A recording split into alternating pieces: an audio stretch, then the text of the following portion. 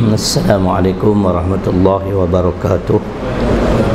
الحمد لله رب العالمين والصلاة والسلام على أشرف الأنبياء والمرسلين وعلى آله وصحبه أجمعين.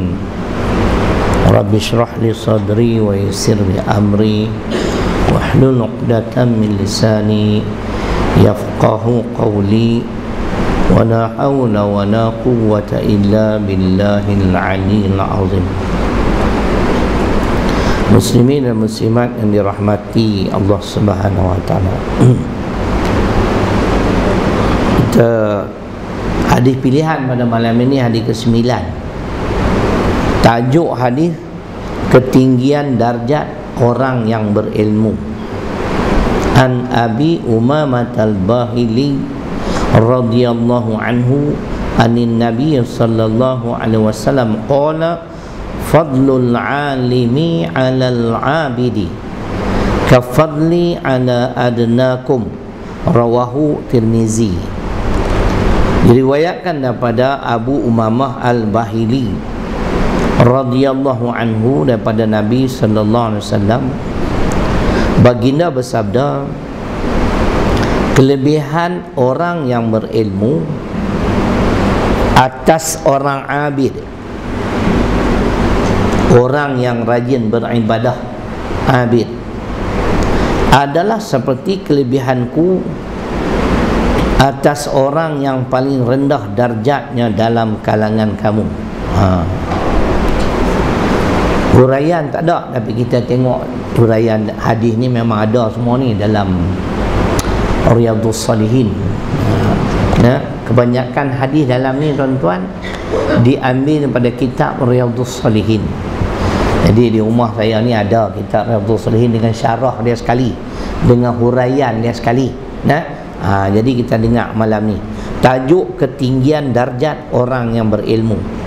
Pertama sekali kita dengar dulu ayat Quran. Ha, dia apa pun Quran tak boleh tinggal. Tinggal Quran cerai lalu sembang kemas macam mana pun jangan tinggal Quran. Ha, nah, nak cakap apa pun dalil kena ada. Tidak cerai duk sembang pakai logik akal orang ni tak betul orang ni tak betul. Hang pang tak betul pang sekali. Ha, jam kan? Ha. Allah subhanahu wa ta'ala bertanya dalam surah Az-Zumar. Az-Zumar surah ke-39 ayat ke-9 ha, dengar lelok apa abang Pak Haji? Ingat Pak Haji tak ada tak ha, me- me- memang ada tadi? Memang tadi ada? Oh ingat ke mana tahu wali-wali kali-kali tengok ada. Tadi cari tak ada. Ha, baik. Qul hal yastawi alladhina ya'lamun walladhina la ya'lamun. Kita faham ni dulu ni Tuhan tanya ni. Katakanlah apakah sama? Ha, orang yang berilmu dengan orang yang tidak berilmu? Sama? Tak sama. Kan? Tak percaya tanya doktor lah. Doktor dia ada PhD. Kan? Orang yang ada ijazah biasa dengan uh, sarjana dengan PhD gaji beza. Tidak tak? Ha. Takkan ijazah gaji RM5,000 kot, PhD RM4,000 cerai eh. Itu di segi ilmu dunia.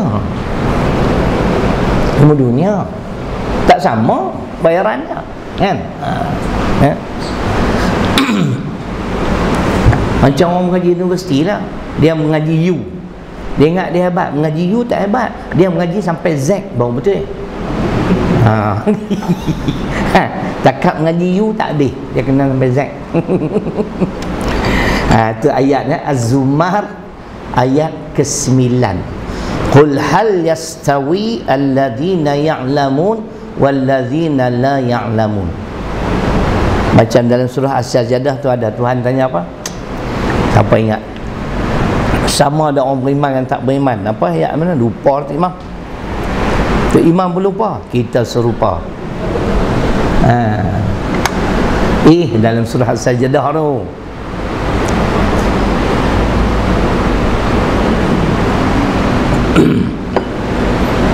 La yastawun tu, la yastawun tu. Mana? Baik bila. Ha, ha, tapi begitulah keadaan orang berilmu dengan orang tidak berilmu memang tak sama ha. baik kita dah pernah sebut tak apa kita ulang orang yang ada ilmu agama ni tuan-tuan dan perempuan Allah iktiraf ilmu dunia bukan tak penting. Penting kena ada juga doktorate macam macam doktor ni kan? Ilmu dunia penting. Saya tak pernah menafikan. Sebab kita pun main daripada bidang tu. Tapi ilmu agama ni Allah sendiri sanjung. Ha. agak-agak dalil dalam surah apa? Siapa nak cuba? Ha. nampak semua lali apa? Ngantuk kan ha? Surah Ali Imran surah ketiga ayat 18 sebab tu saya kata bila cakap biar ada dalil. Saya minta maaf saya tak minat pendakwah penceramah pandai bercakap tapi dalil tak ada. Saya tak minat. Tak ada benda kita nak jadi pegangan dalam hidup kita. Kita pegangan hidup kita dua ya. Quran hadis bukan ada lain lah tak. Baca sepotong ayat Quran sejam cakap. Tengok, kok nu, kok ni, kok nu, kok ni. Oi, dalil tak ada pun. Saya kalau sejam 20 ayat Quran confirm ada. Kalau ceramah. Bukan tak saya halim dah. Saya mau macam tu. Sebab Tuhan sendiri suruh fadzakir bil Quran man yakhafu wa'id qaf surah ke-50 ayat 45 ha itu dalil ngap tadi Allah kata maka berilah peringatan dengan Al-Quran kepada sesiapa yang takut akan janji Allah tiada sebut banyak kali Umar Al-Khattab radhiyallahu anhu memeluk agama Islam kerana dengar ayat Quran bukan dengar ceramah ha nampak tak dia dengar kali pertama hati dia dah jadi cerai. Dia suruh ulang kali kedua terus masuk Islam. Kan? Nah, kita ceramah pa pa pa pa jerit sana jerit ni dalil tak ada orang nak buat pegangan hidup ni payah. Syahidallahu annahu la ilaha illa wal malaikah wa ulul ilmi. Itulah dalil. Allah iktiraf tuan-tuan. Nah, dua golongan syahidallahu annahu la ilaha illa huwa wal malaika wa ulul ilmi Allah mempersaksikan ingat elok tidak ada Tuhan kecuali dia tak ada dah kalau tuan-tuan tengok dalam suratul anbiya surah ke-21 ayat 22 saya tak saya tak ingat ayat tu lau kana fihima alihatun la fasadata. 21 22 21 tu surah al-anbiya. 22 tu insyaallah ayat dia apa? Tuan-tuan dengar Allah sendiri mempersaksikan bahawasanya tak ada Tuhan kecuali dia.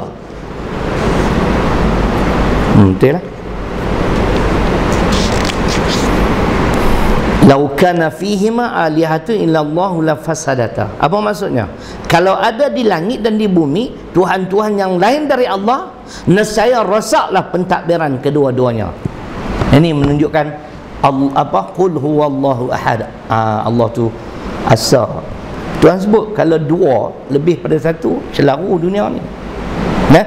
Ha, jadi pertama sekali Allah mengistiharkan Allah ber, uh, Allah uh, menyaksikan bahawa tidak ada ilah tidak ada Tuhan yang berhak dan selayaknya disembah kecuali dia saja. Kemudian siapa lagi? Golongan mana lagi yang iktiraf? Allah saja sebagai Tuhan yang berhak dan selayaknya disembah. Wal malaika wa ulul ilmi. Ha, sebab tu hadis malam ni ketinggian darjat orang yang berilmu. Pertama malaikat. Sebab tu malaikat tak pernah berhaka pada Allah wa ulul ilmi orang yang berilmu yang amal ilmunya. Ha, itu kena faham juga.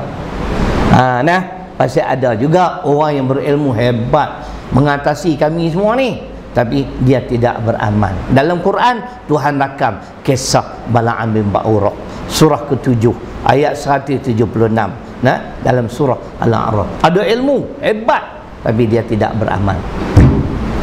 Boleh no ha, itu cerita dia relevan lah dengan tajuk ketinggian darjat orang yang berilmu. Nah Ali Imran 18 Allah mempersaksikan tidak ada ilah mana tak ada Tuhan. Yang berhak dan selayak yang disembah kecuali dia. Kalau ada lebih pada satu kita ambil Al-Anbiya ayat 22 rosak pentadbiran langit dan bumi ini. Sebab tu Perdana Menteri pun kena satu mana boleh ada dua. Dia tak? Ha, hak timbalan tu sabak kan? Ha, sabak kan esok dia berhenti ha, naik nombor satu tapi Zat tak berhenti terus lah kan? ha, di Malaysia ada pasien tu di Amerika boleh jadi presiden hanya dua penggal kan? kita lagi tak mati lagi ada masalah pun tak turun ha, bukanlah di Malaysia Pak Haji nah, di negara lain Malaysia sama ya. kan? kot tak tahulah nah. Kot-kot tak tahu tak dengar. 28 April penamaan calon. 9 Mei pilihan raya. Ha, tu dia. Raya besar eh? kan? Ha, kita tengoklah apa nak berlaku kan? Ha, sekali ni paling sengit lah. Parti cukup banyak. PAN, PAS, AMNO, PKR ha, di Selangor ada dah pah khianat lari masuk PKR ha, nah kawan saya. Di Jangka ada lagi lima orang ha, ini yang syok kan tuan-tuan? Ha, saya suka baca The Star tuan-tuan. The Star ni laporan dia kalau 10 yang dia siap 8 tu insyaAllah betul. Kalau utusan Malaysia 10 dia siap 11 pembohong jangan marah. Kan? Saya dengar ni dua bulan sudah. Ha, ada enam. Adun pas akan menyeberangi ke parti PKR ha, seorang dah masuk dah adun payah jaras ha, nama dia lawyer Khairuddin. Ceramah saya banyak kali. Kan? Ha, sonok tuan-tuan. Inilah perjuangan. Kita kalau harap perjuangan Islam ni Pak Ji nak mendatar tak usah doa harap. Mesti banyak ujian halangan ni pengkhianat-pengkhianat macam ni orang beli ke apa Allah alam. Di dalam Quran tu kan sebut. Tawaran lah. Dia pun tak boleh nafi saya boleh sebut.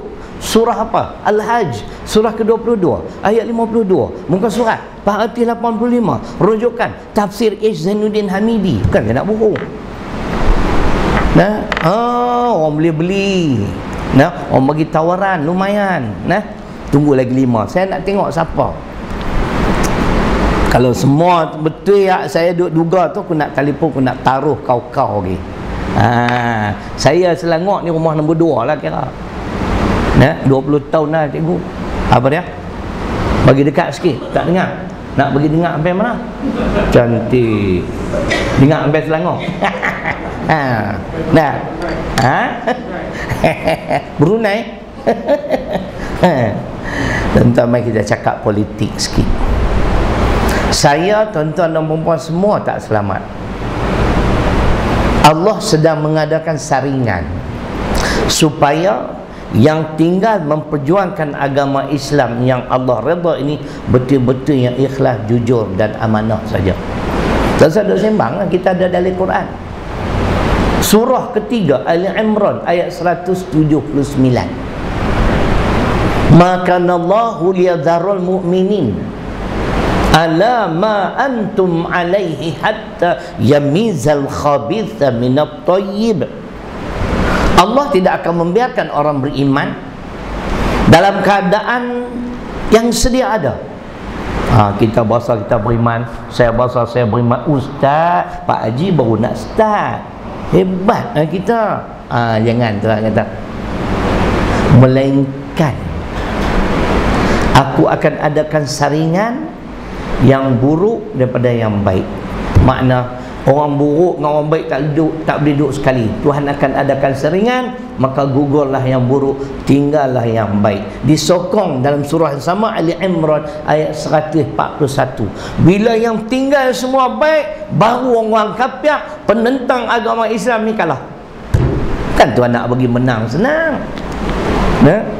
Wal yumahi sallahu alladhina amanu wa yamhaqal kafirin Ali Imran Ayat apa saya kata? Satu empat satu. Ada tak ada? Ha, doktor duk cek. Allah sebut Allah akan membersihkan terlebih dahulu orang-orang beriman. Ada dia kata betul lah lebih kurang doktor. Nah, pembersihan pada Allah. lepas yang tinggal tu betul yang solid yang ikhlas memperjuangkan agama Allah baru Allah wa yamhaqal kafirin.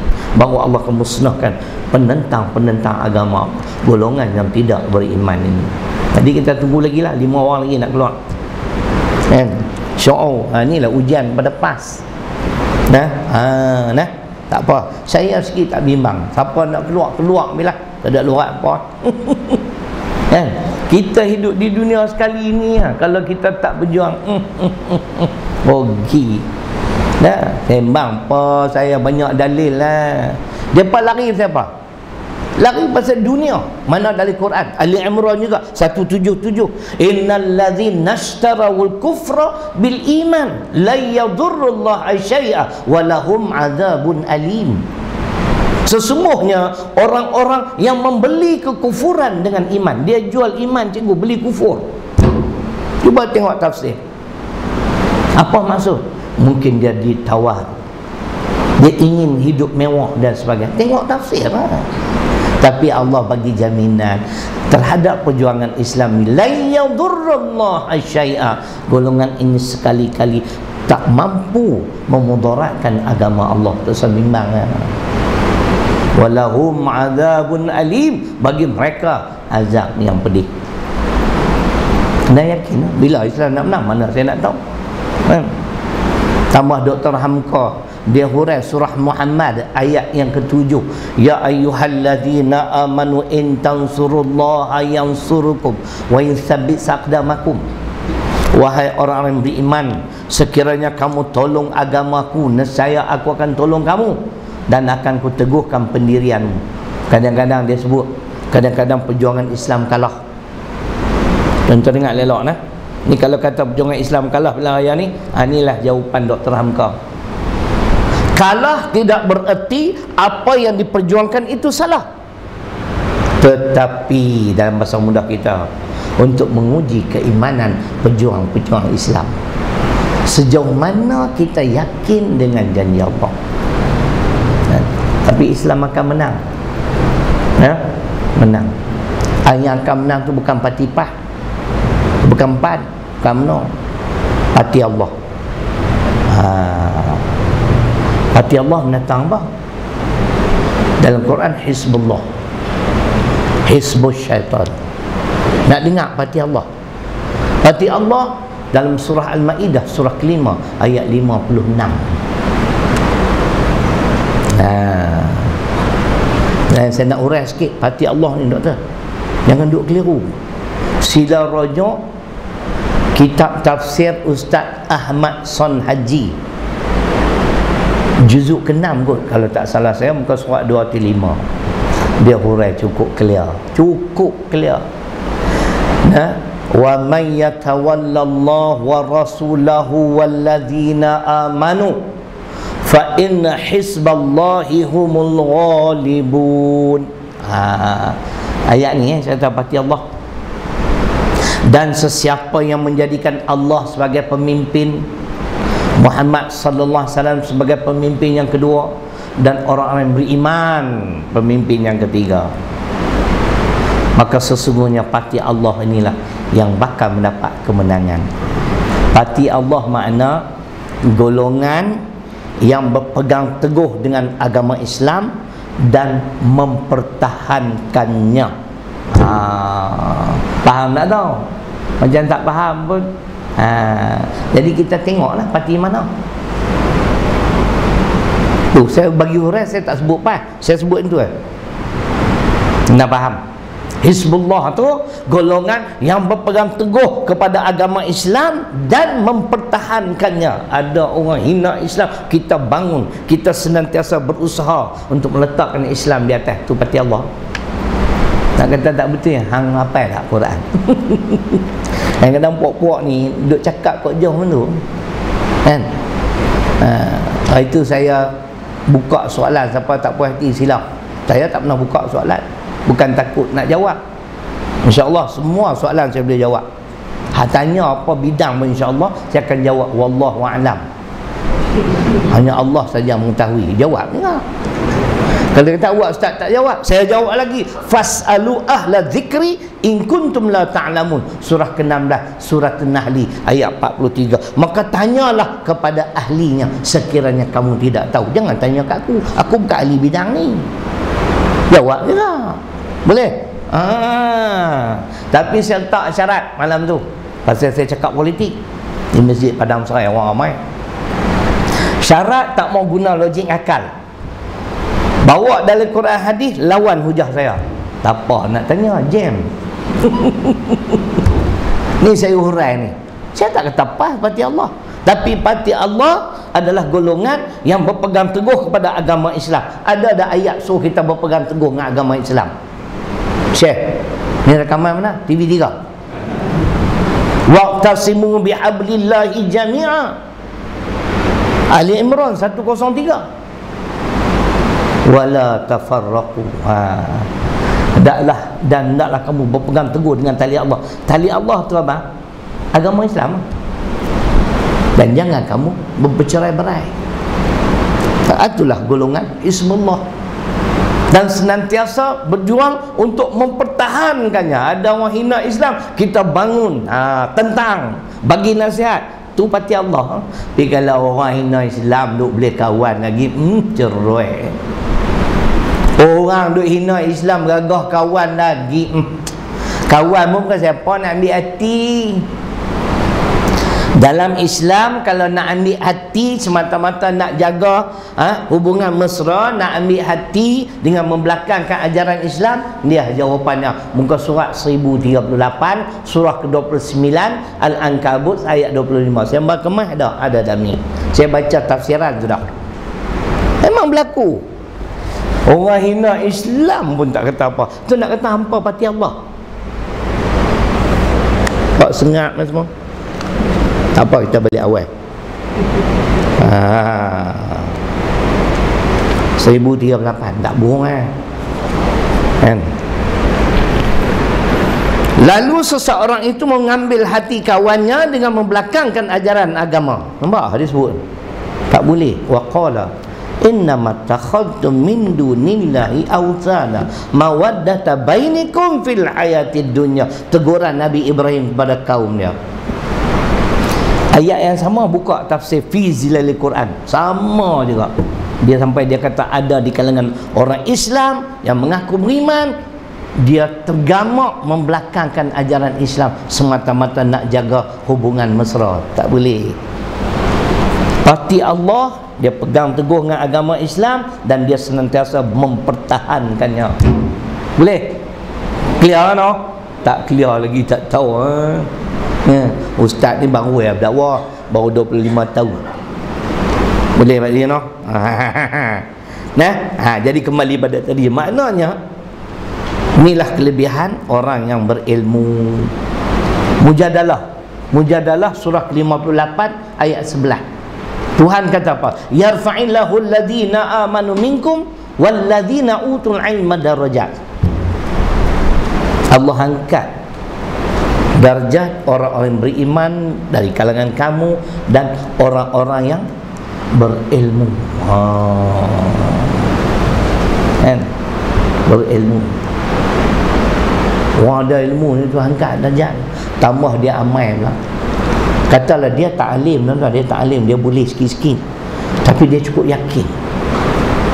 Apa yang dia yakin? Kekuasaan dan kebesaran hanya milik Allah. Tu alim lalu Pak Haji percaya tak? Saya kata. Semua Pak Haji? Oh Pak Haji ni cukup yakin Ustaz ni. Bagi dalil Pak Haji? Ha jam jam. Hai ini dia ni. Tu yang saya beli. Muka surat 700 tafsir Arab Saudi. Surah ke-35 Fatir ayat 28 abang kita boleh ustaz boleh ingat semua no?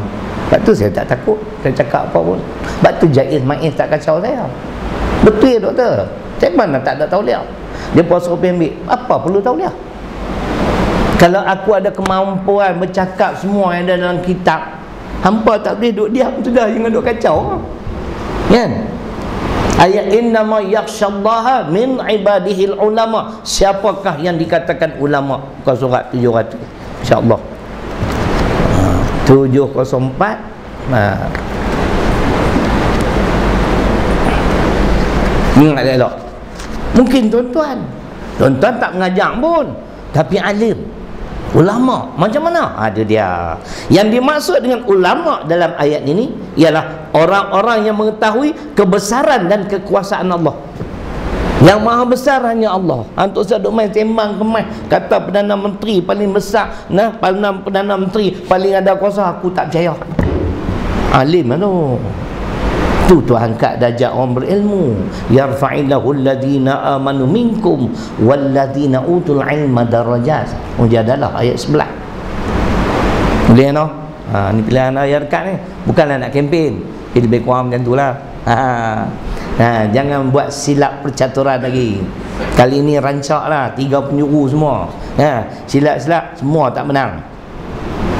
Nah, ha, tak ada kerajaan kali ini. Ha, saya perasan-perasan nak jadi macam tu, perasan lah.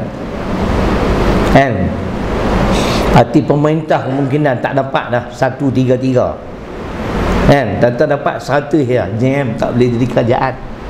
Jam sekutuan lah maksud saya dia kena 112 Pak Mahdi 100 Pas dapat 40 Target 40 Masuk 100 lebih. Kata harapan dapat 82 100, 82, 40 Semua tak boleh jadi kerajaan. Kecuali ha, Dia cari. Ha, Dia main Macam ni lah Ustaz Syarilong Saya wakil pas lah.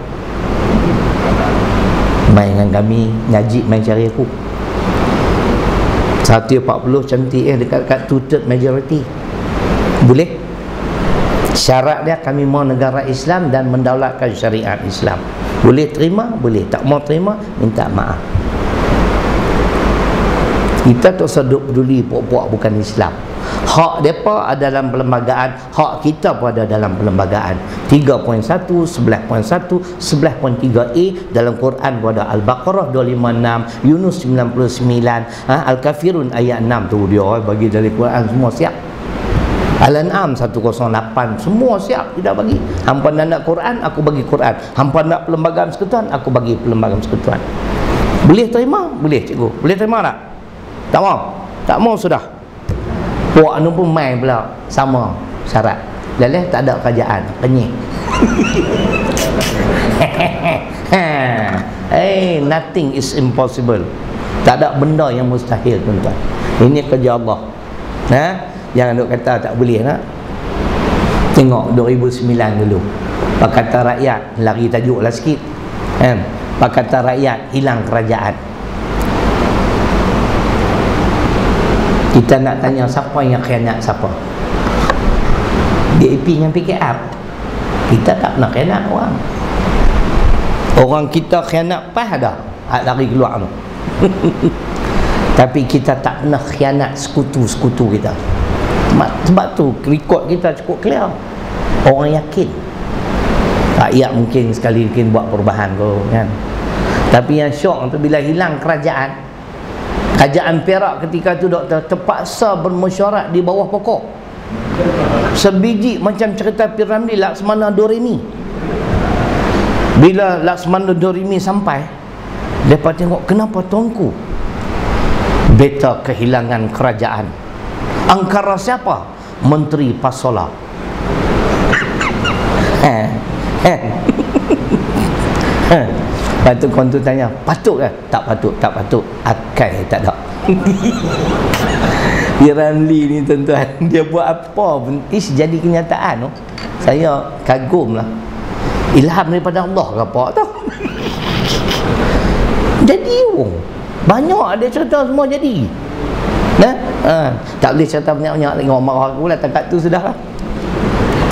Itu contoh. Nah, ha, jadi kita cakap ada sandaran.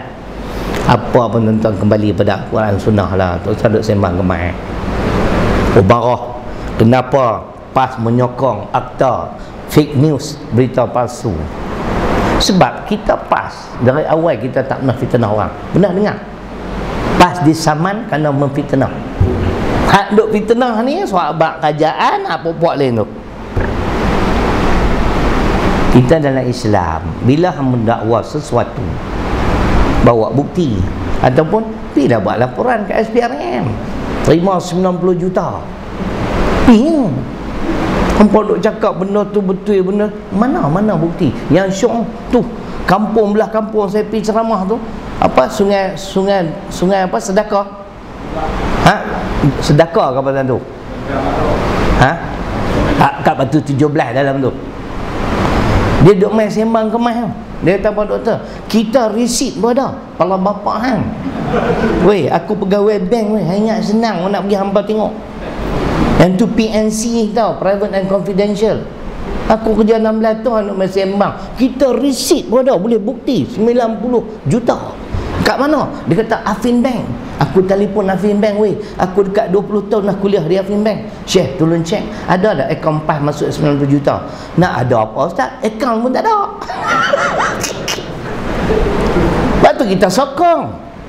Benda baik supaya kita mendidik masyarakat kan jangan suka fitnah. La yadkhul jannah. Namamun. Al fitnatu akbar min al qatli. Al fitnatu ashaddu min al qatli. Yang pertama al baqarah 217 yang kedua 190 190 lebih. Boleh doktor? Masuk sikit politik ni pilihan raya dah ni. Bukan dia boleh baca luruh ya masuk ha. Hak duduk di luar cerai bang. Ha berlari balik habis bang ha, tu pok-pok dia lah tu tak mau takut lah tu. Ha. nak tengkak dengan saya bawa Quran hadis saya terima. Saya nak balik tengok lu. Hak hang hujah hang betul ke tak? Takat logik akal saya takut rosak akidah. Ini soalan akidah. Saya sebut ni. Tadi muka surat 1038 tak boleh kita membelakangkan ajaran ajaran agama Islam semata-mata nak jaga hati kawan. Tak boleh. Pati Allah dia berpegang teguh dan dia senantiasa mempertahankan agama Islam. Itu baru pati Allah. Ha, dah boleh tuan-tuan? Mari saya nak scan pula.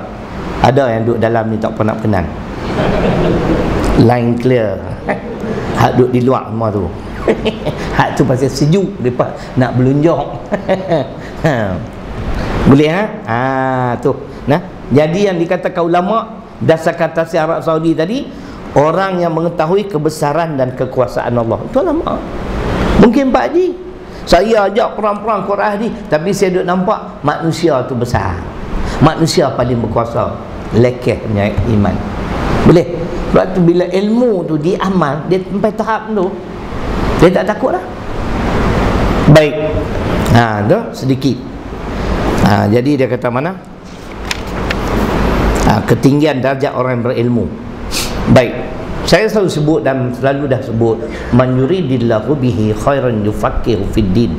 Hadis Bukhari dan Muslim. Seseorang nak jadi baik tuan-tuan hanya dengan ilmu. Ini Nabi sebut.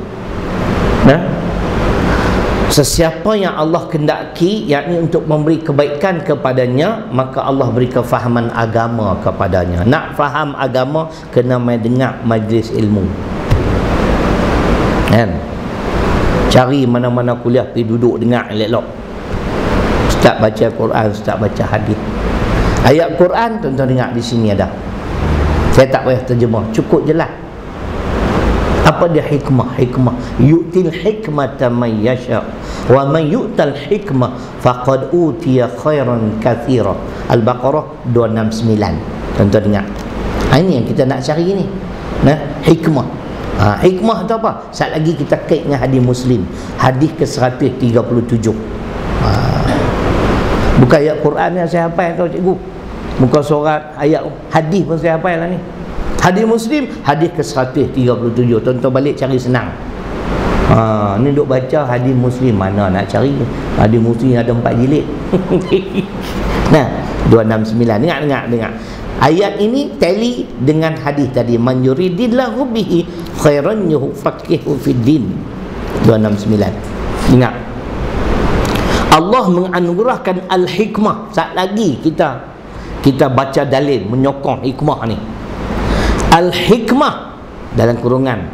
Kefahaman yang dalam tentang Al-Quran dan As-Sunnah kepada sesiapa yang dia kendaki. Dan sesiapa yang dianugerahi al-hikmah itu ia benar-benar telah dianugerahi kurnia yang banyak. Itu dia tuan-tuan. Bila dia dapat faham agama faham Quran hadis Allah itu satu kurnia yang cukup banyak. Nah mai kita bukti. Mana hadis yang menyatakan nabi pun Allah bagi hikmah kat dia.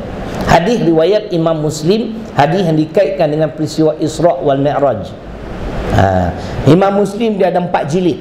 Hadis dia tebal tu kitab tu. Satu dia tuan guru saya tuan guru Haji Muhammad Saman Kati. Kenal tak? Ha, kenal no? lama besar. Pernah ikut kuliah dia? Dia sejarah dia latar belakang dia memang unik lah. Dia orang biasa ya saya saya dipahamkan dia pergi ke Mekah dia belajar 20 tahun. 20 tahun tuan-tuan. Dia nak dilantik mufti negeri Perak dia tendang dia tak mau dia hanya sebagai majlis fatwa ya. Ha. Saya sempat berguru dengan dia 6 tahun. 6 ke 7 tahun yang dulu lah. Suatu itu saya duduk di Taiping. Pesanan beliau tuan-tuan dengan lelok. Dalam rumah hampa mesti kena ada kitab tafsir. Dan mesti kena ada kitab hadis. Paling tak ada hadis Bukhari dan Muslim cukup. Tak dalam rumah. Buat apa? Ambil berkat. Kan Melayu suka ambil berkat. Dia kata bila hampa duduk saja-saja, hampa pegang kitab Muslim, hampa buka, hampa baca, seolah-olah hampa berbicara dengan Muhammad sallallahu alaihi wasallam. Itu bahawa hidup ada keberkatan. Begitu juga Al-Quran tafsir. Jangan sampai tak ada dia kata. Saya dengar pesanan tu lah tuan-tuan duit gaji banyak beli kitab lah. Tak baca tak apa. Lungguk rumah. Ha, ada masa kita cari. Nah, kena ada. Hadis ke-137 Imam Muslim. Dengar hadis ni banyak pengajaran. Ha, ni kita nak kait dengan ilmu. Darjat orang berilmu ni tinggi. Ceritanya Nabi sallallahu alaihi wasallam bersabda, furija saqfu baiti wa ana bi makkah fanazala jibril alaihi salam fa faraja sadri thumma ghasalahu mimma zamzam thumma jaa thumma jaa bi tastin min dhahabin mumtali'in hikmatan wa imanan fa afraghaha fi sadri thumma atbaqahu rawahu muslim Ha. Itu sebahagian lah. Sebenarnya hadis ni panjang. Hak saya ambil ni semata-mata dikaitkan dengan peristiwa Isra.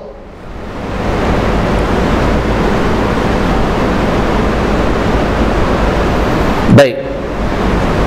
Nabi sallallahu alaihi wasallam bersabda, "Bumbung rumahku terbuka."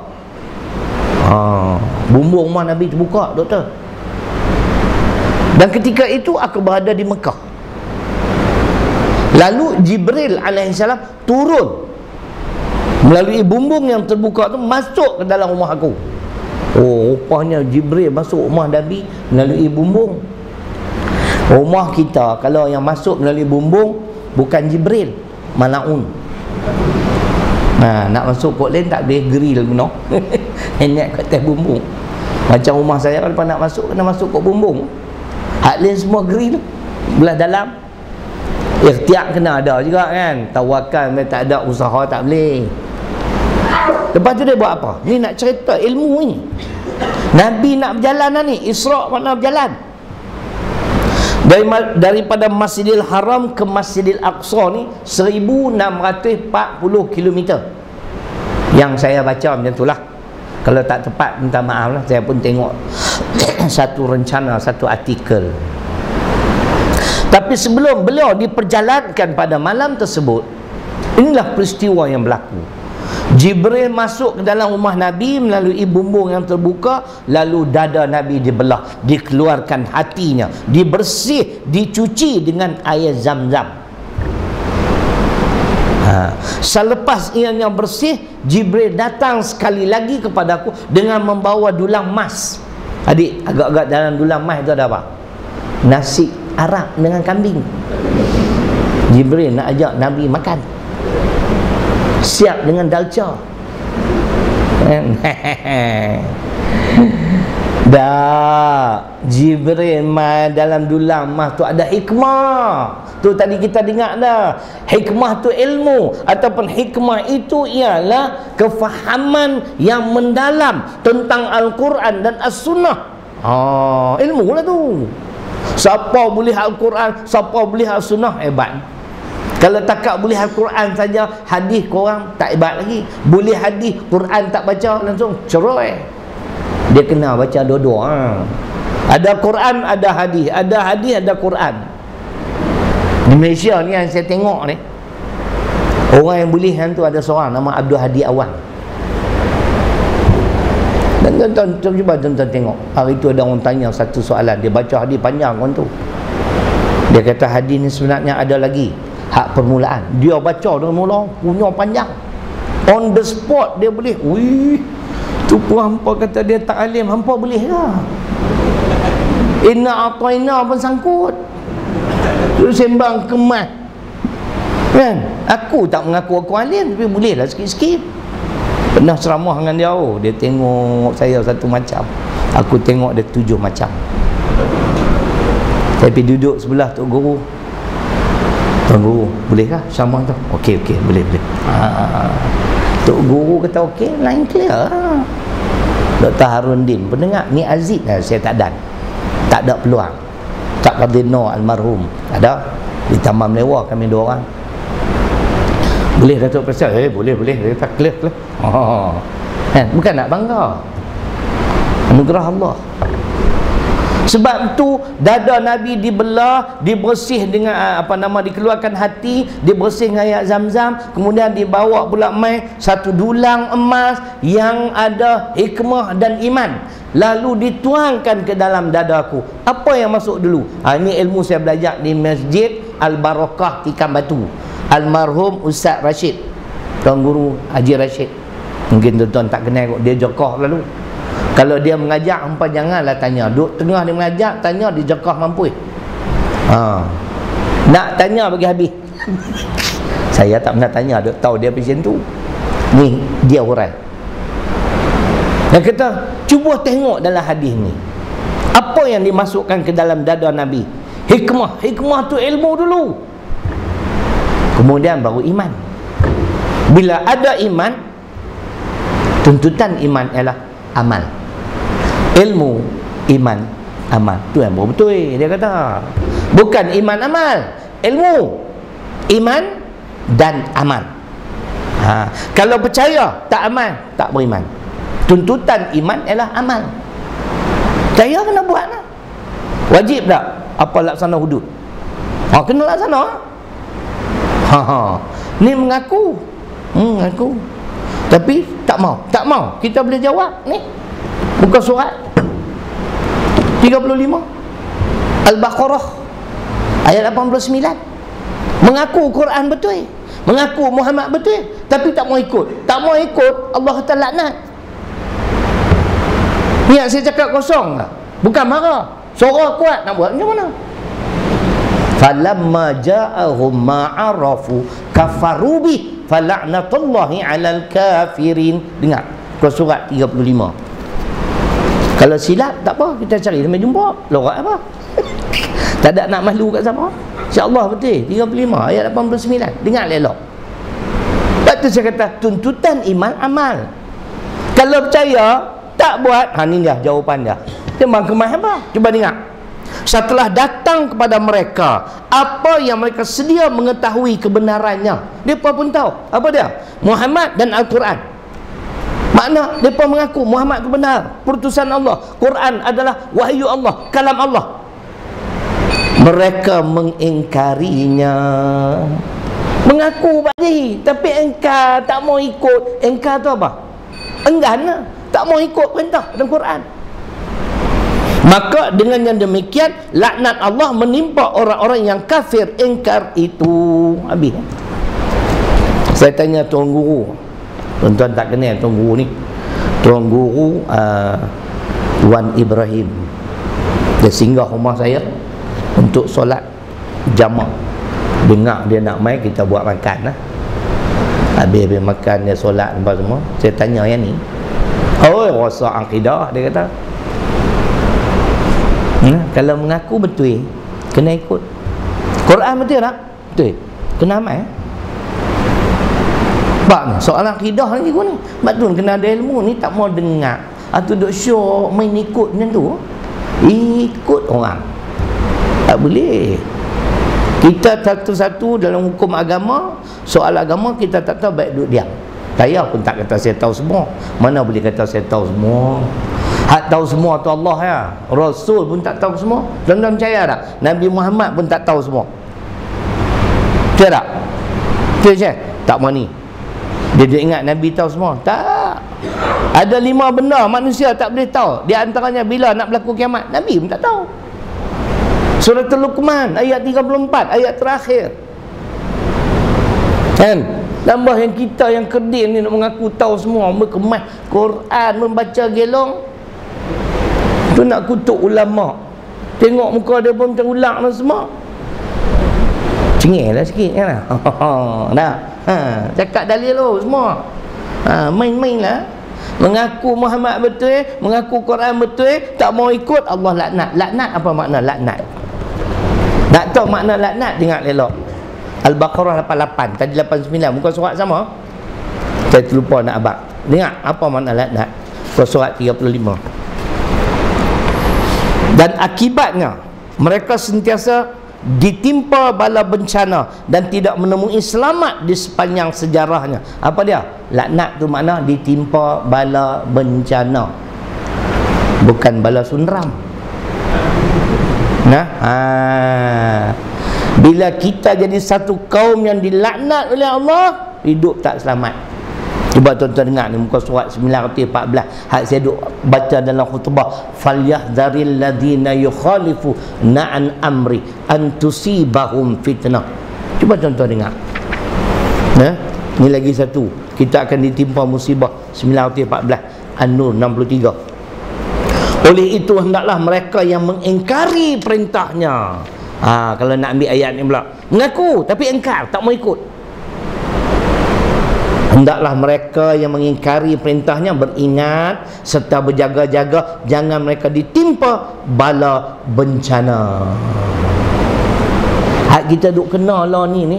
Pasal yang tu oh. tak ikut mengaku baca Quran. Tapi tak mau ikut perintah yang terkandung dalam Quran. Bila ada ilmu kena amal tuan-tuan. Ha, nah. Walaupun perintah Tuhan tu merugikan kita kena tinggal saya syukurlah Allah bagi peluang sampai ke umur 63 hari ni pergi check darah sekali lagi. Nak tengok jenis kanser mana ada kat saya. Na'udzubillah ha, saya abang angkat doktor. Kalau keputusan tak baik jangan duk abang awal habak lepas pilihan raya.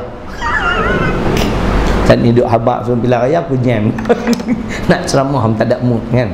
Hmm dia tak abang. Itu kata rupanya dengan darah kita. Itu saya cek secara general secara umum. Yang ni boleh khusus semuanya nak tahu jenis kanser.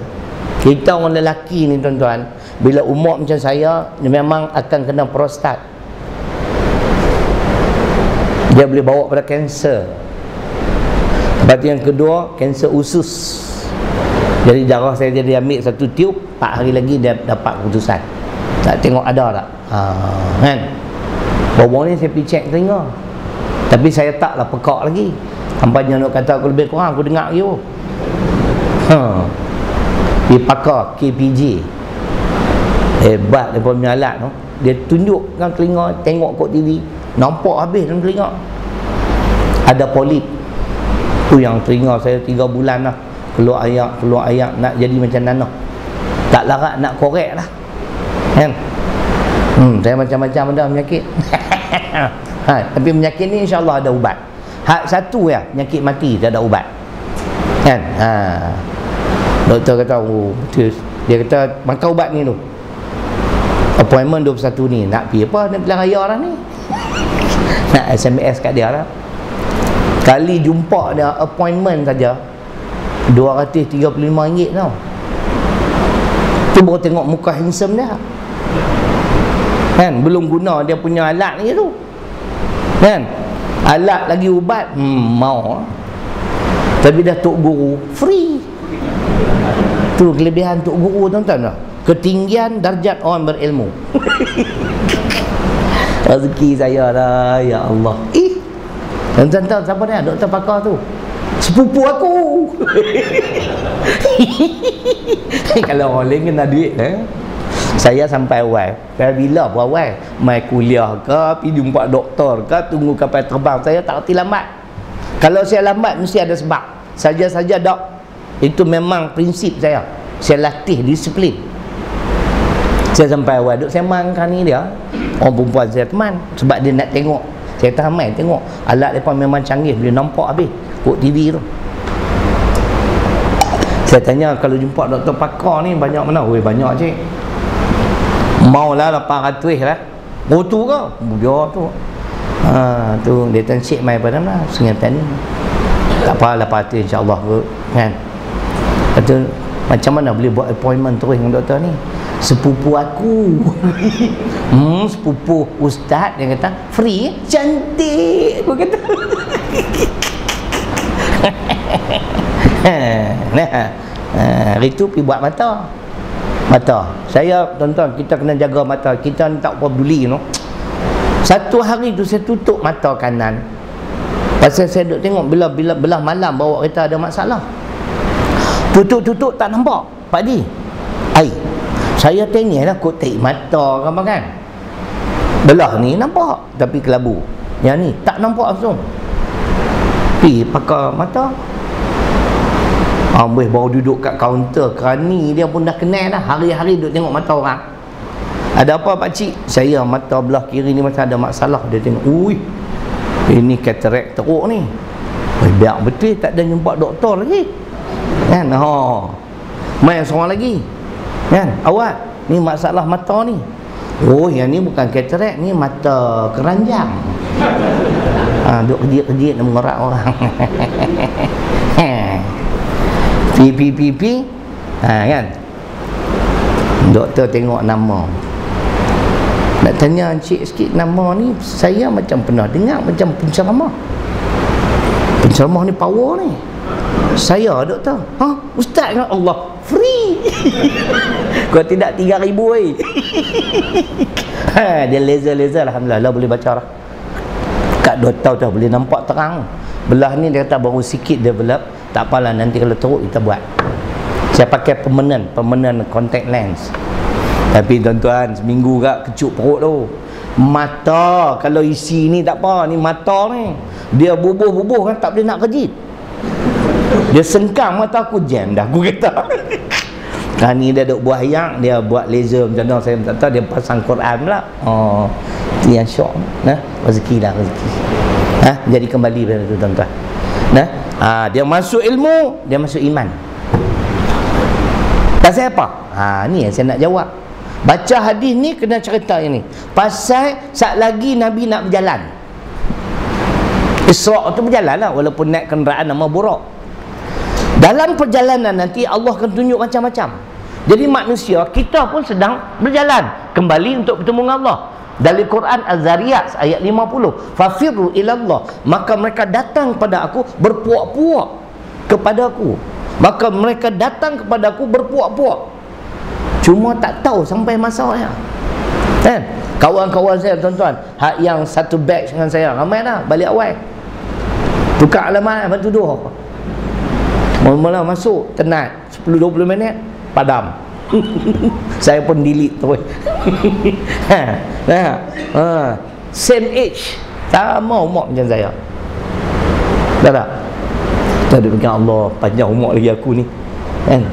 Jadi kita ni sedang berjalan ni. Dalam perjalanan dalam kehidupan kita tuan-tuan kita jumpa macam-macam. Halal haram dosa pahala. Tu yang nak abjak tu.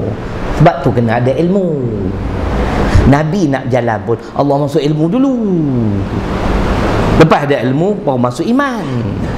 Jadi kalau kita berjalan perjalanan kita pulang untuk bertemu dengan Allah di dunia yang fana ni dengan macam-macam ujian tarikan godaan tak ada ilmu reba. Tuan-tuan cara Mari saya baca ayat Quran. Contoh Pasal tak ada ilmu. Orang cakap Kita pun tumpang semangkuk. Jadi mangkuk ayun lah. orang cakap ni hei ngarutnya mana boleh negara Islam? Ni masyarakat majmuk ni. Nak potong tangan orang tu semua undang-undang kuno. Oh. Kita yang dengar pun tumpang semangkuk. Hmm tak jawab pun. Ha, mai aku nak jawab ke apa? Sebab tu kena ada ilmu. Pasal kita pun sedang berjalan. Mudathir surah 74 ayat 45 golongan ini bila ditanya apa kesalahan kamu yang menyebabkan kamu dihumban ke dalam neraka ini? Wa kunna nakhudu ma'al khaidin. Untuk dengar. 45 dan kami dahulu selalu mengambil bahagian memperkatakan perkara yang salah bersama-sama orang-orang yang memperkatakannya. Cikgu dengar cikgu? Dengar Pak Haji? Orang cakap benda tak betul kita tumpang semangkuk dengar tak bukan dia cakap ikut dan. Kena ada ilmu. Tu yang Nabi pun Allah masuk ilmu. Mana dalil? Kita jangan jadi pak turut. Dua. Pertama Al-Isra' 36 Yang kedua Al-An'am 116 Ni kita bicara tentang ilmu. Tak lari tajuk kan Hak politik sikit tadi yang lari sikit lah. Dah musim pilihan raya. Lima tahun sekali takkan tak boleh cakap. Ceroi kan Kan? Kutlah pilihan raya hari-hari Kan? Lima tahun sekali. Kan? Kena cakap lah Khutbah kena pulun lah lepas ni. Kan? Haa Allah berfirman wala taqfu ma laisa laka bihi ilmun. al-Isra 36 dan janganlah kamu mengikuti sesuatu yang kamu tidak ada ilmu pengetahuan tentangnya. Apa dia abang? Jangan jadi pak turut. Orang kata undang-undang Islam tak sesuai kita kata undang-undang Islam tak sesuai kan orang kata tak relevan nak menegakkan negara Islam kita kata tak relevan tu jawapan tadi mudasi 45 dalam ayat lain Al-An'am 116 wa in tuti'ang aktsara man fil ardi yudilluka an sabilillah. Dan sekiranya kamu mengikuti kebanyakan manusia di bumi mengikutnya. Nescaya mereka akan menyesatkan kamu dari jalan Allah. Ha, tuan-tuan dengar ni saya hujah Quran, hadis. Ha, apa nak lawan kena bawa dari Quran. Ustaz baca tadi tak betul. Ada hujah lebih mantap aku nak dengar. Kan? Kalau ada lah Nak baca apa? Ha, pun tak ingat. Jadi ada seorang tu Main lepas khutbah saya buat kemai. Saya tak setuju Dengan Teks khutbah Ustaz ni. Oh kemai dia. Dia, dia, dia kerja. Saya kenal di Section 27 eh, Section 26 Shah Alam. Masjid Proton Oh, tak mana ucapan saya yang tuan tak apa setuju Begian, begian, begian Oh, kemai Ustaz tahu tak? Saya tahu mana aku nak tahu hang tak bak lagi. Ha, Allah Ta'ala Nabi puji. Oh, puji golongan ini. Kan dia kata. Boleh bagi dalil tak saya kata? Hadis. Sahih. Oh, kemai. Baca sikit pun nak dengar. Tak ingat kata. Dalam ni hang terjemah dalam bahasa Melayu kat aku sikit. Dia terjemah. Ha. Duk diam. Mai aku baca saya baca matan hadis saya terjemah saya hurai cium tangan balik awal siapa ajak hang dia kata hang faham dari mana hadis bada'al islamu ghariban wa sayaudu kama bada'a ghariban fatuba lil ghuraba Islam bermula dalam keadaan dagang dan Islam akan kembali dagang. Berbahagialah orang-orang yang dagang. Di sini saya kata share yang berbahagia itu ialah dari kalangan umat Muhammad sallallahu alaihi wasallam yang berpegang teguh dengan ajaran Islam ketika manusia lain tak mau. Orang tu bukan hampa saja, siapa-siapa juga baca pula ayat Quran Ali Imran 144. Cium tangan balik awal. Nak mai kata kita tak betul. Tapi dalil pun tak ingat Kena pula di seksyen 18 Shah Alam. Assalamualaikum Ustaz Orang budak. Saya tak apa setuju. Oh tak setuju saja. Kan? Ha.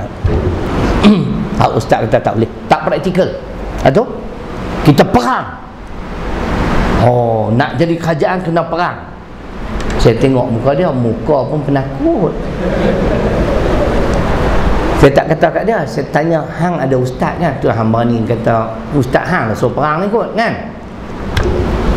Agak-agak ustaz hang berani tak khutbah macam aku? Saya tanya tu eh. Hari ni hang dengar kan aku cakap semua. Bab akidah bab hukum hakam aku tak takut kat siapa agak-agak ustaz kan berani tak cakap macam ni? Dia pun tengok kanan tengok kiri cium tangan balik awal bukan nak kata saya hebat tuan-tuan. Saya ada hujah Takat duk layak buruk main ikut orang dalil Quran pun tak boleh. Boleh rosak akidah jangan main-main. Ni ish abang percaya saya abang? Kau surat 858 surah ke-22 ayat 67 Al-Hajj undang-undang Islam sesuai sesuai di segala tempat segala zaman. Jangan duk kata tak sesuai. Walaupun orang lain kata tak sesuai kita tetap kena kata sesuai. Saya ulang sekali lagi. Bukan surat 858 bila kata tak sesuai menyalahi Al-Quran. Menyalahi Al-Quran rosak ada akidah. Undang-undang Islam undang-undang apa Allah tuan-tuan. Allah tu bijak lebih bijak pada kita. Sebab apa? Dia cipta kita. Wih, kita tak mau undang dia. Makan rezeki dia minum rezeki dia. Undang-undang dia tak mau. Ni manusia ke doktor? Bukan manusia. Ada apa dia? Nang boti nang kui boti kui. Ha. Dengar dengar dengar. Tetapi dengan kezahiran syariat Islam yang dibawa oleh Nabi sallallahu alaihi wasallam yang diutus kepada umat manusia seluruhnya maka mansuhlah syariat-syariat yang lain. Dan kekallah syariat Islam hingga ke hari kiamat sebagai syariat yang sesuai dengan segala tempat segala zaman. Buka surat 858 surah ke-22 Al-Hajj 67 nanda hadis hadis muslim hadis ke-15 jilid pertama musikah hadis Nabi Isa AS akan turun semula. Dalil tuan-tuan akan berlaku kiamat apabila Isa diturunkan semula. Az-Zukhruf surah 43 ayat 61 dengar lelok bila dia turun esok tak lama. Nah tak lama. Banyak perbahasan. Berapa lama dia hidup? Macam-macam. Dan sesungguhnya Nabi Isa menjadi tanda kedatangan hari kiamat. Huraian. Di antara tanda-tanda menunjukkan hampirnya hari kiamat ialah turunnya Nabi Isa AS pada akhir zaman untuk membunuh Dajjal. Dajjal tak sedap? Dajjal dan menegakkan agama Islam yang dibawa oleh junjungan kita Nabi sallallahu alaihi wasallam. Sebagaimana yang tersebut dalam hadis-hadis Nabi yang sahih. Hadis mana? Kaifa antum? Idza nazala ibn maryam fikum fa ammakum. Fa ammakum bi kitabi rabbikum tabaraka wa taala wa sunnati nabiyikum sallallahu alaihi wasallam. Dari Quran ada. Az-zukhruf 61 hadis muslim esok Nabi Isa bila diturunkan semula dia juga merujuk pada Al-Quran dan sunnah Nabi sallallahu alaihi wasallam. Abang dia tak ikut dah kitab Injil sebab dah tak boleh pakai. Jadi kita orang Islam kita pula kata tak sesuai. Hey, Nabi Isa esok turun berbawa yang tu juga. Hang siapa? Bawa kitab aku nak tengok. Kau tak tahu kau kitab apa Quran apa 40 juzuk. Kami tekat 30 ya. Tu kami tak jumpa Eh, hak 40 juzuk ni syiah. Dia pandai reka orang satu dunia kata Quran 30 juzuk dia pergi tambah 40 terlebih warak pula lah. Baca Quran pun tak kerti tu sembang kemas yang tu. Nah minta maaf lah kan? Ha, jadi itu tuan-tuan dan perempuan ha, maknanya hadis yang kita baca malam ni tentang Isra' wa Mi'raj tu makna ilmu ni penting. Sebab tu hadis ke-9 yang kita baca pada malam ni ketinggian darjat orang yang berilmu. Tapi saya tegakkan di sini orang yang berilmu dan beramal dengan ilmunya. Ha. Nah, kalau takak banyak ilmu haram pun duduk diam. Zalim pun tak tegur nama saja muti jenis nak cari mentega darah yang tu amat dicela oleh Quran. Al-Baqarah 159 Al-Baqarah 174 Ali Imran 187 semua mencela. Mana-mana ulama orang yang berilmu menyembunyikan ilmunya. Boleh tuan-tuan? boleh tak? boleh berhenti tak? ada ceramah pula ni nak pergi ceramah pula kan? Ha, semalam ya dapat peluang tidur awal.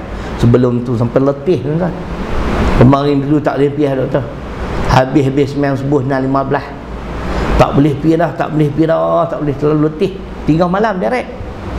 Saya zikir sampai pukul 11.15 6.15 pagi sampai 11.15 zikir tu dalam letih tu.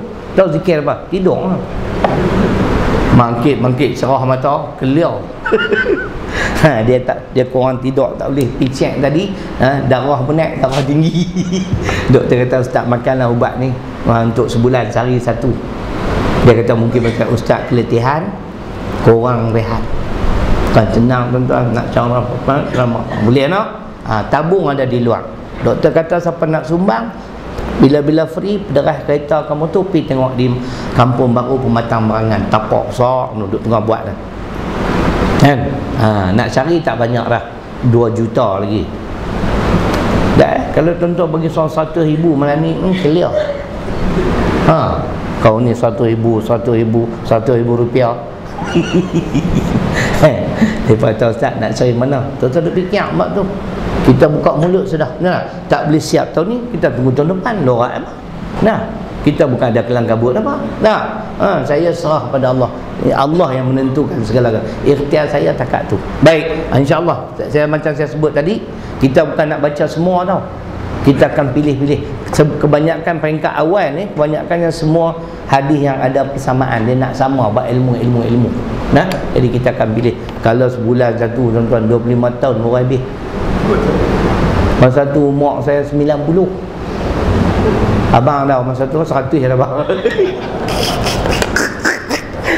Main lagi kuliah. Ha, Nak murid 100, 150 Tok guru 90 Teh hege-hege ketak.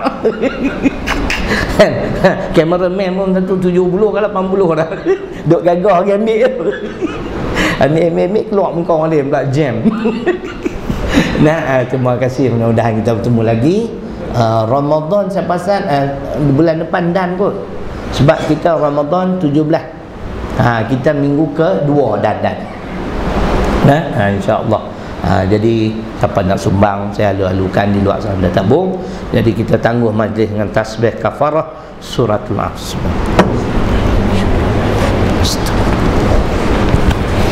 إلى الذين آمنوا وعملوا الصالحات وتواصوا بالحق وتواصوا بالصبر بسم الله الرحمن الرحيم الحمد لله رب العالمين والصلاة والسلام على أشرف الأنبياء والمرسلين وعلى آله وصحبه أجمعين اللهم اغفر لنا ذنوبنا ولوالدينا وارحمهما كما ربيانا صغيرا اللهم فقهنا في الدين وعلمنا تأويل ربنا آتنا في الدنيا حسنة وفي الآخرة حسنة وقنا عذاب النار والحمد لله رب العالمين.